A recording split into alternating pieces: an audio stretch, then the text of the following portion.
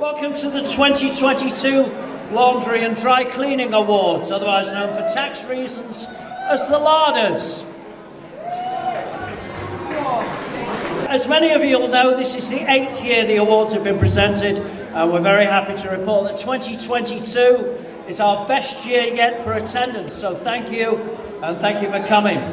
352 awards, and as there are just over 300 of you in the audience, if you don't win one, you're perfectly entitled to feel absolutely gutted.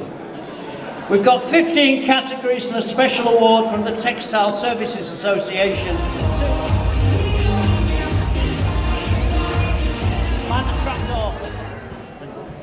Thank you. In case you haven't noticed, when you win your award, smile. So be optimistic, do your hair now. Thank you, Paul. Congratulations.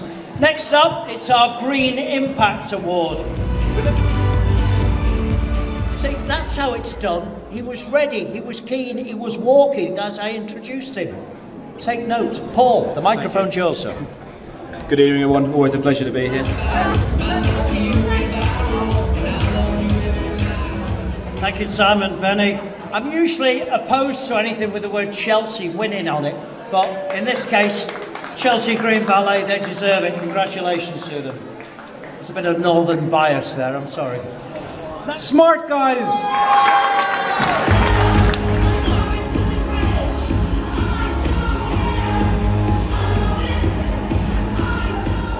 Sorry for the delay, they're all having a dance at the table.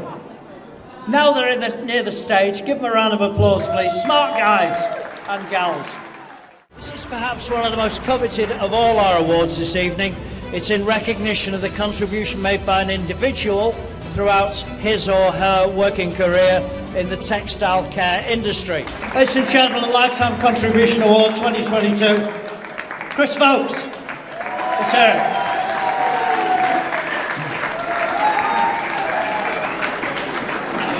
That concludes the LADAs 2022. Congratulations to all our finalists and especially to some of our brilliant winners, in fact all of them tonight.